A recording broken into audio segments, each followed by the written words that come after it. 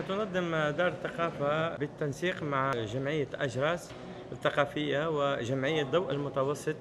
هذه التظاهرة تعنى بالصورة المسماة آه، الصالون الوطني للصورة الفوتوغرافية. في هذه الطبعة الخاصة اللي تستضيف من خلالها دار الثقافة العديد من المصورين وهواة الصورة من مختلف الولايات. أشكر جزيل الشكر الأستاذ أحمد الهامل مؤطر ورشة السمع البصري لدار الثقافة الذي أشرف على آه، تحضيرات هذا الصالون آه، بالتنسيق مع آه، دار الثقافة طبعا. الافتتاح كان بإشراف السيد والي ولاية عنابة اللي كان كرم مجموعة من المصورين الذين قدموا الكثير للصورة الفوتوغرافية بولاية عنابة. أيضا كان الافتتاح بتقديم عرض حول إنجاز جديد إن شاء الله. موجه للطفل.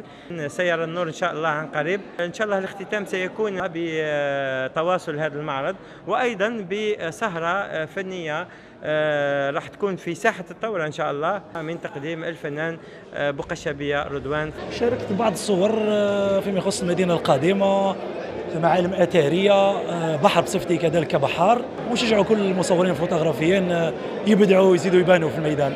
هذه مساهمة بسيطة.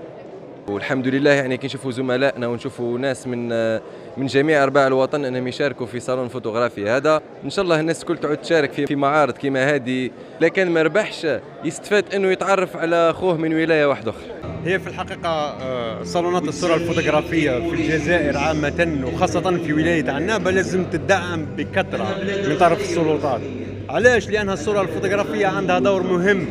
في السياحة وفي الاقتصاد.